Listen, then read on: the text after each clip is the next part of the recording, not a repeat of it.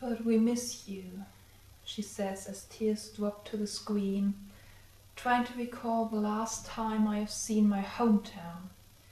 My parents, really anything besides my own four to six walls in their shades of off-white.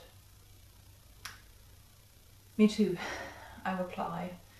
Force my voice to smile even though we both know it'll still be a while. Because we care too much and we're both too smart to ignore the truth that keeps us apart.